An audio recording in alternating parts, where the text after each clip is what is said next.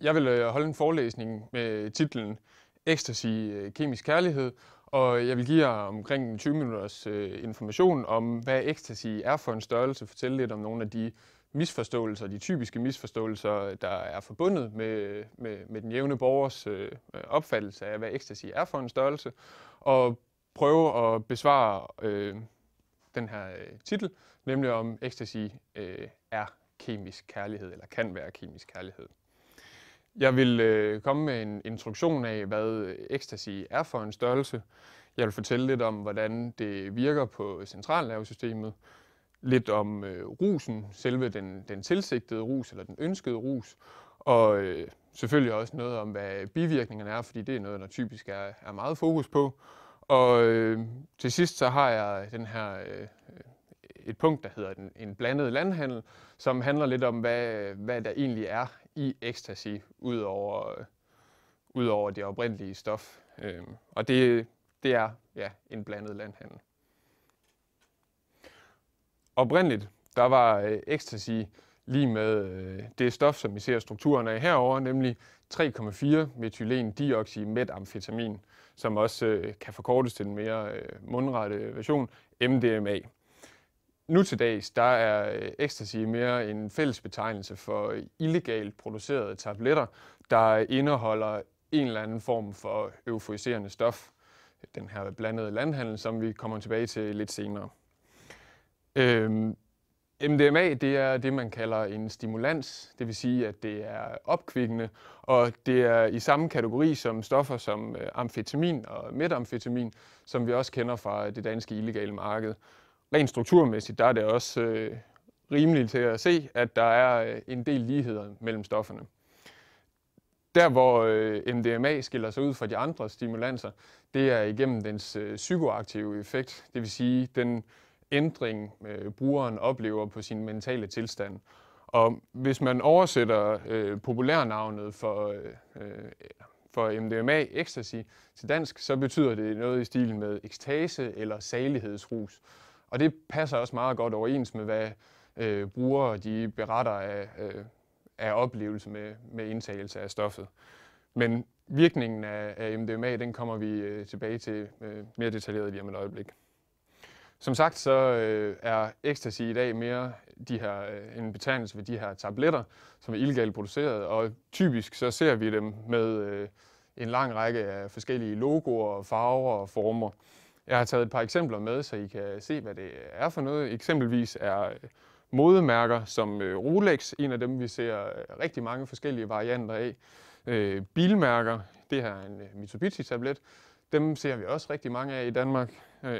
Smileys er også ret populære, og nogle af dem er også lidt mere kreative, nemlig Bin Laden Ecstasy-tabletten.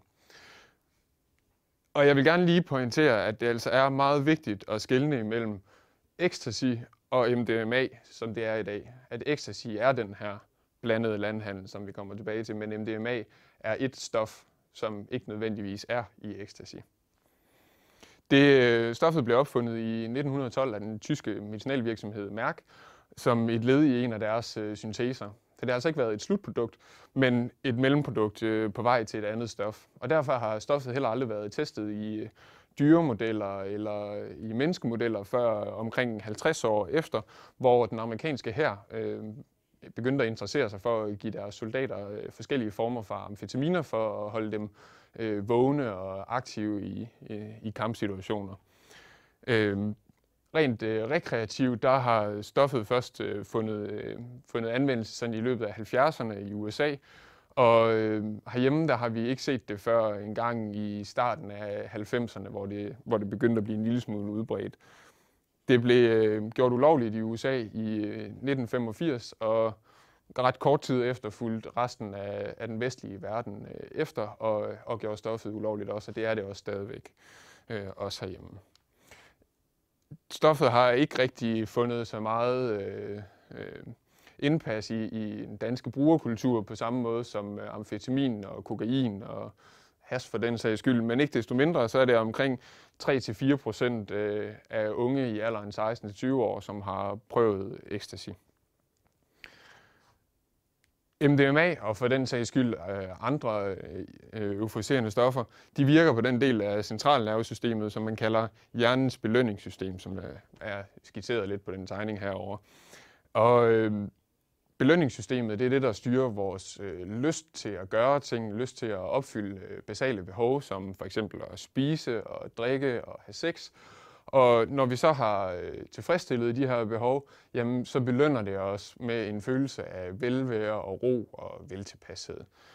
Derudover så øh, styrer belønningssystemet også øh, i stor udstrækning vores øh, følelser og vores adfærd, både i positiv og i negativ retning den måde, det sker sådan rent øh, biologisk på, det er ved, øh, at øh, belønningssystemet det regulerer mængden af nogle signalstoffer øh, i hjernen.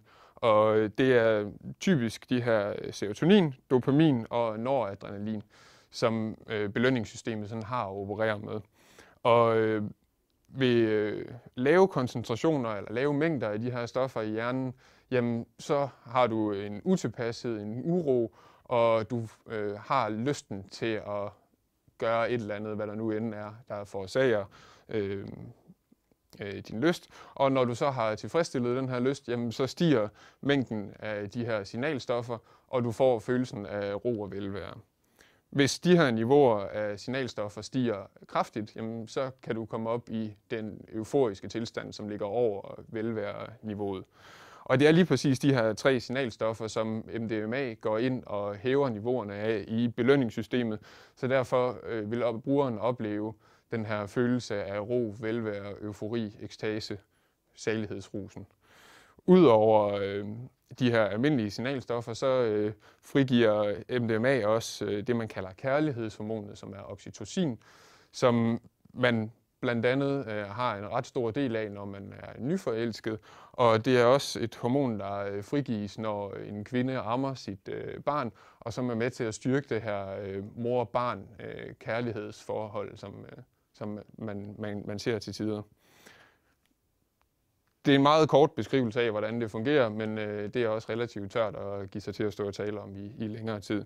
Hvis vi går over og ser på, hvordan selve rusen, den er altså den, den tilsigtede øh, virkning af stoffet, jamen så opnår man øh, rusen ved en dosis af MDMA på omkring 50-125 mg. Og øh, det varer i omkring 4-6 timer øh, normalt. Og brugere af MDMA, de øh, beretter om øh, eufori og ekstase. De beretter om øh, øget empati, det vil sige øget evne til medfølelse. De øh, får lyst til nærvær med andre mennesker og andre øh, dyr for eksempel også. Øh, en oplevelse af mental klarhed. Ikke nødvendigvis mental klarhed, men en følelse af mental klarhed. Øh, de er overvejet øh, fyldt med, med positive følelser og har et øget energiniveau, har lyst til at bevæge sig øh, meget.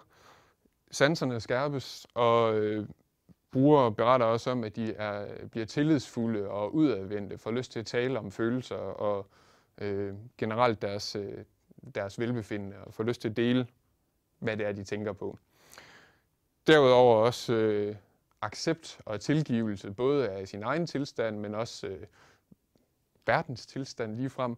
Og øh, sidst men ikke mindst, så øh, oplever brugere en mindsket frygt, øh, angst og usikkerhed og det er simpelthen på grund af de her øgede niveauer af serotonin og dopamin, man får den her følelse af velvære, ro og, øh, og veltilpashed.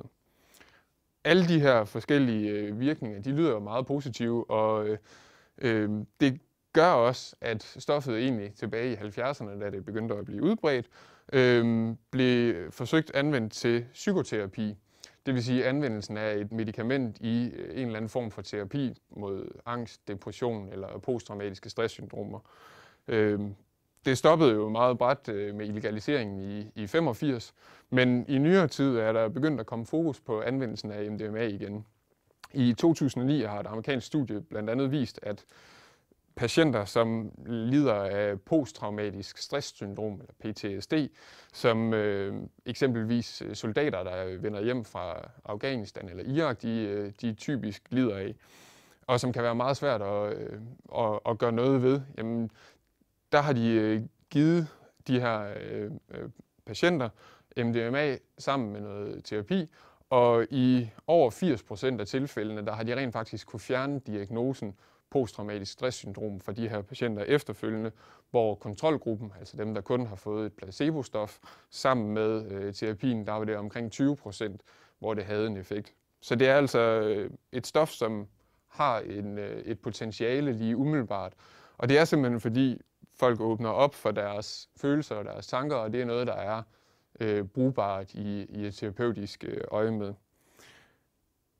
Hvis man går over og kigger på bivirkningerne, fordi der er selvfølgelig ikke nogen rose uden tårne, og MDMA har også øh, en, en række bivirkninger, nogle mere alvorlige end andre.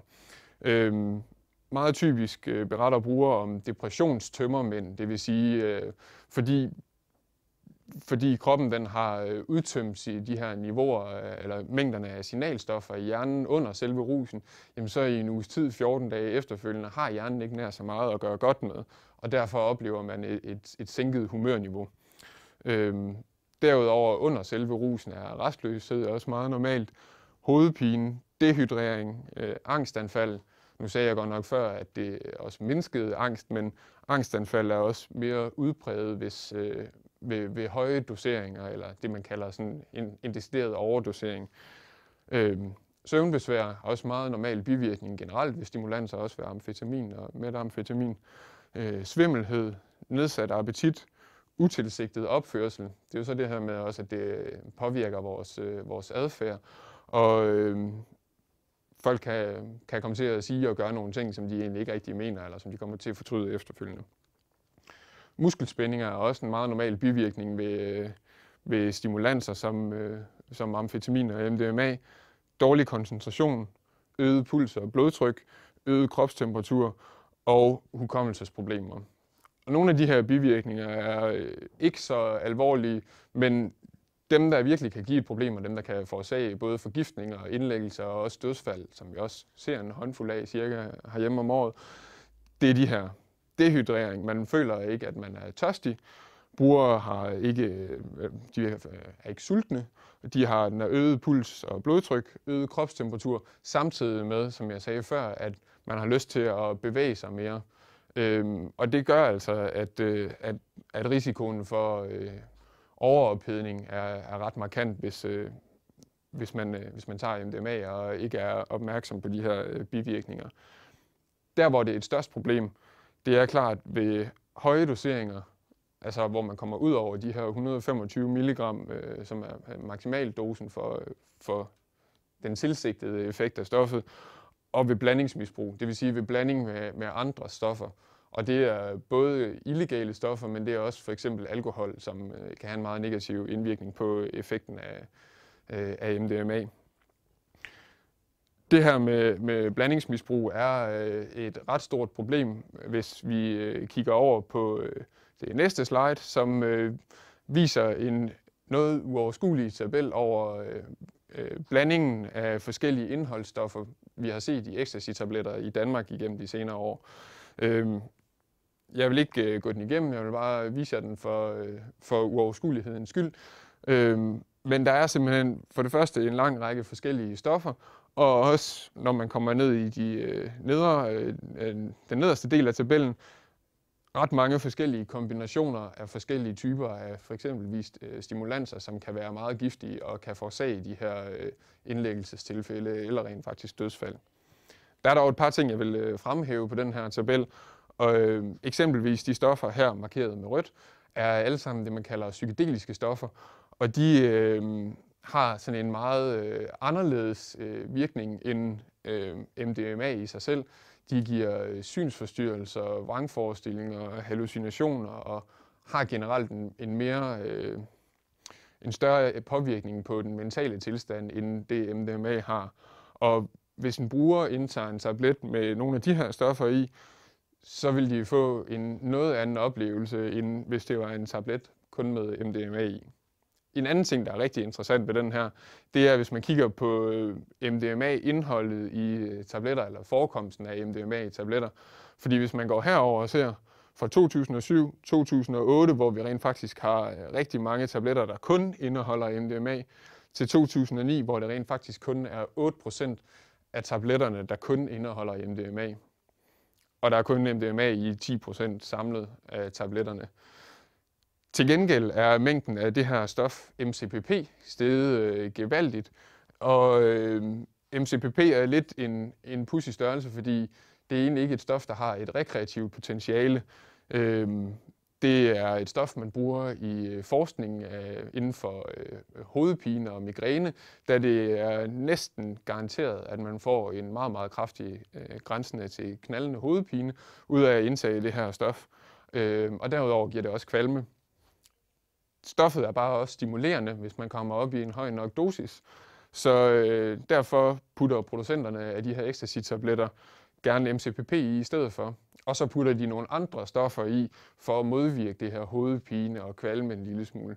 Men det er altså ikke MDMA, og det er øh, et stof, vi ser i rigtig, rigtig mange ecstasy-tabletter øh, nu til dags. Det er klart det mest øh, hyppigt forekommende stof. Hvis man går over og kigger på mængden af aktivt stof, den vi lige havde, den, øh, det var øh, med fokus på det her med, at blandingsmisbrug er, er et problem, at man ikke ved nødvendigvis, hvad det er for et stof. Jamen, den her, den, øh, den her tabel, den øh, går mere ind på det her med doseringen af, af stoffet som et problem, hvor øh, hvis man går, øh, vi ser på MCPP, som øh, klart er det hyppigst forekommende stof i ecstasy-tabletter i 2009, så varierer mængden i tabletterne fra 1 til 39 mg. Og hvis man går ned til MDMA, så svinger det fra under 1 mg til helt op til 94 mg.